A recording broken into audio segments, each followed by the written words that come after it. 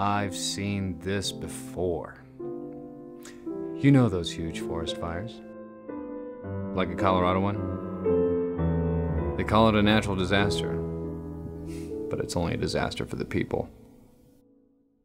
The fire clears out the old dead trees and makes room for the new ones. The trees that are strong aren't touched, and the rest burn. And that's how it happens. One day you'll see a group of men in dark suits, men you don't recognize.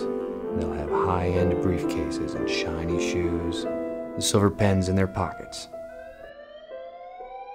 And when they leave, there'll be a field of vacant cubicles, like empty ground. The forest needs them every so often. It's just a matter of time.